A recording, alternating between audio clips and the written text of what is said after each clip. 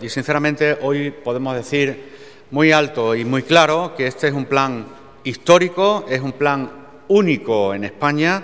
y que es pionero en la inmensa mayoría de las medidas que se recogen en el mismo.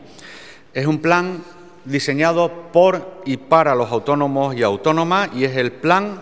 más ambicioso que se conoce en nuestro país de autoempleo.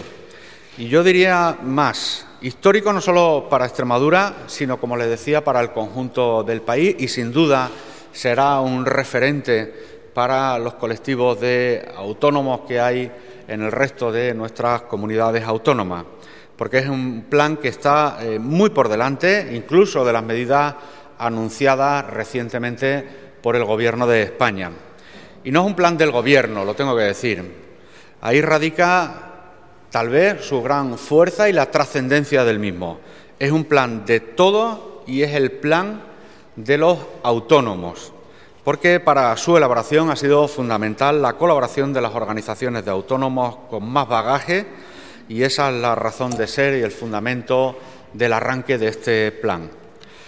Tenía que ser un plan real, un plan que respondiese a todas y cada una de las necesidades que plantea el sector, sobre todo en Extremadura, y que va a tener una vigencia de tres años en el periodo 2013-2015,